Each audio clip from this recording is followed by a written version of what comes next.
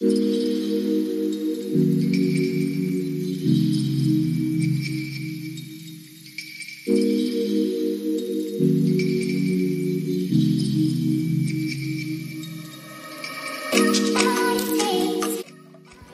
guys welcome to another video. So in today's video i'll be showing you how to make yogurt okay? This is not just any yogurt i will be showing you how to make greek yogurt from scratch. Okay the reason i called it greek yogurt is because you will barely find whey okay? I didn't remove any whey from it. If you don't know what whey is whey is the extra liquid you you drain out from your yogurt that gives you greek yogurt okay? So the whey is the liquid that you want to like dispose. Some people use it for smoothie and other things that you can use it for okay? But with this recipe you are getting straightforward greek yogurt. There's no way there's nothing for you to sieve out okay? This is not drinking yogurt. If you want drinking yogurt you have to wait for another video that will be making drinking yogurt. But today we are making greek yogurt for some reasons okay so guys um the measurement i'll be using for this is two cups of milk. This milk is not brand milk. Like is um you know those milk you buy from cake shop? Is measured milk. This particular one is actually dano industrial milk okay? It's dano industrial milk and it's full cream. So i have two cups in there and what i'm going to do i'm going to add two cups of water okay? This water was boiled but I allowed it to cool for five, three to five minutes because I don't want to put it boiling. So I just allow it to be like on the stove for three to five minutes before adding it here. So two cups of milk with two cups of boiled water, okay? You want to stir this to make sure that there is no lumps whatsoever. You want it to be 100% creamy like no single lump nothing at all. Go ahead and mix mix mix. Don't be tired just mix okay? Mix till you are satisfied. Mix till you can no longer see any lumps around it okay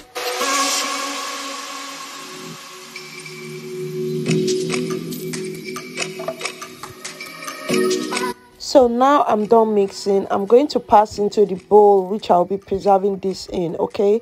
So i mixed in the pot or in a bigger bowl if you have a bigger bowl because i want it to be well mixed. So now i've passed it into the bowl. I'm just still trying to make sure both the one under everything is well mixed okay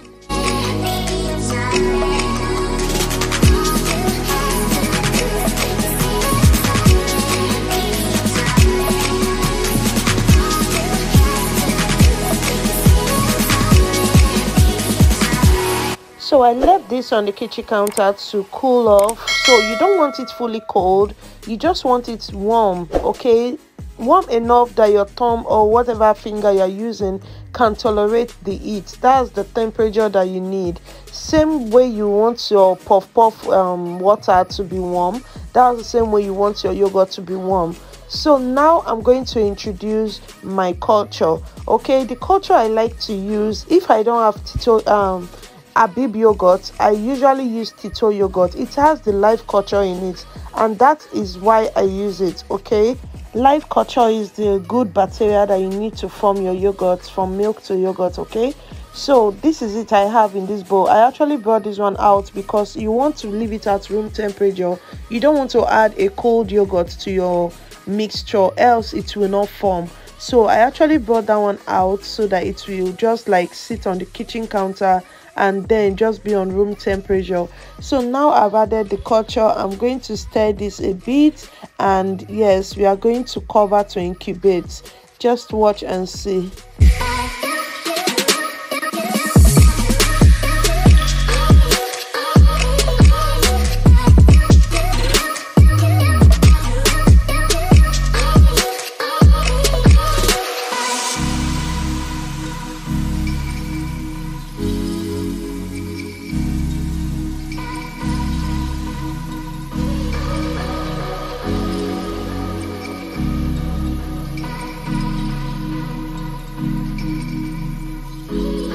so to incubate you want to use a very thick cloth to wrap it okay I use this dry towel, but you can use duvet, you can use whatever cardigan, whatever thick cloth that you think you have around you. So what I do after wrapping with my towel, I just go ahead and lock this up in a nylon.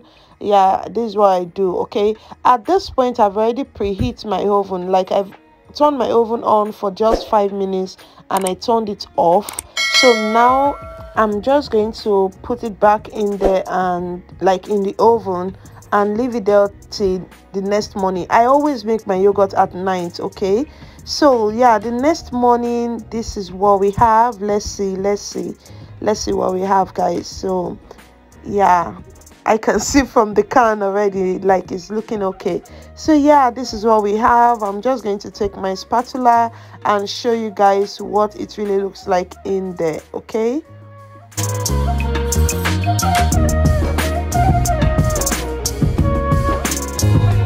Wow!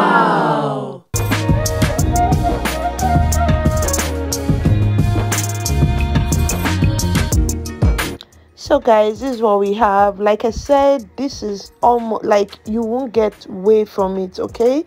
You can still go ahead and maybe use your cheesecloth to see if you can get away. You can get a little, but seriously, this is a Greek yogurt um, texture. This is what it looks like don't forget you're still going to refrigerate and this is going to come out very thick.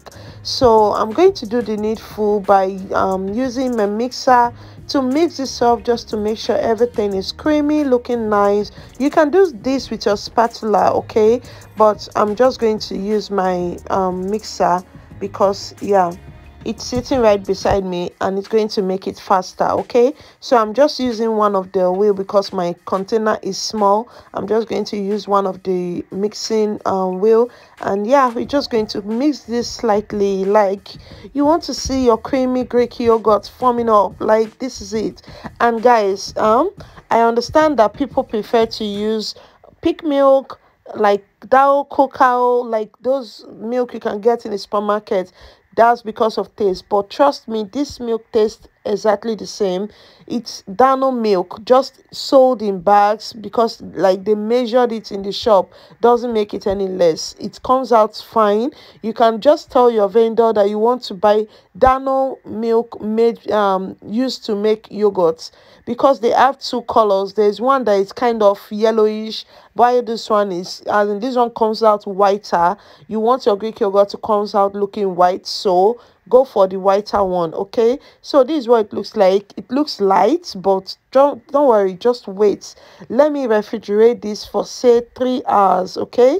And then we'll see i'll show you guys what the finished look is like. Don't go anywhere because i'm going to make parfait out from this greek yogurt for you guys okay? You guys just have to wait and see all of that okay